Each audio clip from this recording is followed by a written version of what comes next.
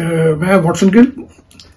जैसे कि आप आजकल देख रहे हैं कि ट्रांसजेंडर बिल के हवाले से बहुत शोर गुगा है और हमारी जो मेजॉरिटी कम्युनिटी मुसलमान दोस्त, इन हवालों से काफ़ी उन्होंने शोर मचाया हुआ है, जबकि ये बिल 2018 में कौमी असम्बली से भी और सेनेट से भी पास हुआ था।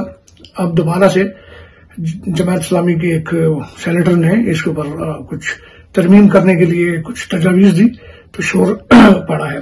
अच्छा जब तक तो ये बात बाहर की थी, दोस्तों के हवाले से, मुसलमान भाइयों के हवाले से तो हम इसे इग्नोर कर रहे थे। लेकिन चूँकि अब ये हमारे मसीह जो पास्टर्स हैं, वो भी इस बिल के मुखालफत में बोलना शुरू हुए। मैंने एक वीडियो देखी दो तीन और भी दोस्तों ने, हमारे पास्टर्स ने उन्होंने ये बात की मुझसे। लेकिन हमारे एक मारूफ पास्टर हैं पास्टर जमील नासिर साहब, उनकी एक वीडियो मैसेज मेरे पास आया, उन्होंने मुझे भेजा। तो उसमें भी जो मैंने उनके ख्याल देखे तो मैंने समझा कि मैं उनसे इतफाक नहीं करता। और मैं समझता हूँ कि मुझे इस हवाले से वो करना चाहिए। मैं, मैंने बिल देखा है, दो तीन दफ़ा मैंने देखा है इसको। इसका जो एक नुकता है, जो जेर बहस है, उस हवाले से मैं आप लोगों के तवज्जो चाहूँगा क्योंकि जो दोस्त जो है, वो कह रहे हैं कि जनाब, इस बिल से हमारी बेटियाँ, या बेटे जो हैं, वो गलत लाइन पे चले जाएँगे। ये बिल इस तरह से नहीं है।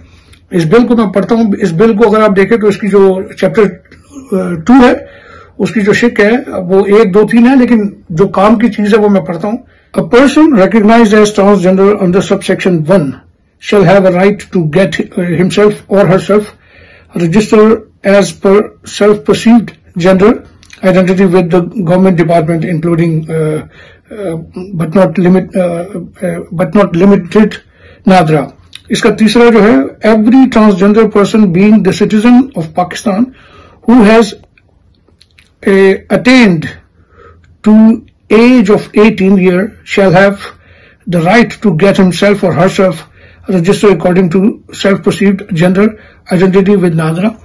ये जो बिल है उसमें जो ये चीज़ें हैं, जब वो लिख रहा है कि पर्सन रिकग्नाइज एज ट्रांसजेंडर इसको नोट करने की ज़रूरत है कि जैसे हमारे पास्टर्स हैं, वो ये कह रहे हैं कि जनाब, कल को तो जो हिजड़े हैं, ये जो ख्वाजा सरा है, इनकी शादियाँ करनी पड़ेंगी क्योंकि ये अपना जेंडर जो है वो चेंज करेंगे।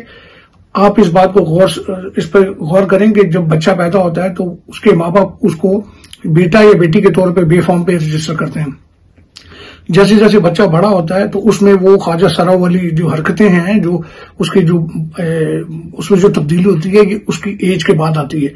तो यहाँ जो कानून है वो ये कह रहा है कि जब आप देखते हैं कि वो ट्रांसजेंडर है वो ख्वाजा सरा है वो हिजड़ा है तो उसकी उसकी हिजड़ा या ख्वाजा सरा होने के बाद उसने ये फैसला करना है।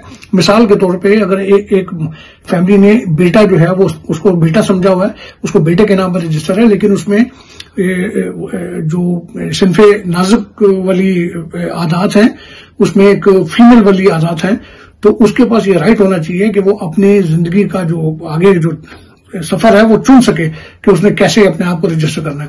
तो ये कानून जो है, ये कह रहा है, इस पर बड़ी लंबी डिबेट हो सकती है, लेकिन चूँकि मैं छोटी वीडियो बना रहा हूँ तो मैं सिर्फ़ ये बताना चाहता हूँ कि इस कानून में वो चीज़ें नहीं है जो हमारे पास्टर जो है वो कह रहे हैं, क्योंकि यहाँ पर पहले उसने डिक्लेयर करना है कि वो ख्वाजा सरा है, उसके बाद उसने ये चूज़ करना है कि वो मेल ख्वाजा सरा है या फीमेल ख्वाजा सरा है तो ये चीज़ें जो है, ये उसको वो करेंगी। तो मैं समझता हूँ कि मेरे लिए, मैं इतनी ही है, लेकिन अगर किसी ने इसके ऊपर डिटेल से जाना है तो मैं उसके लिए भी तैयार हूँ। उदाहरण आपके साथ हो जाए।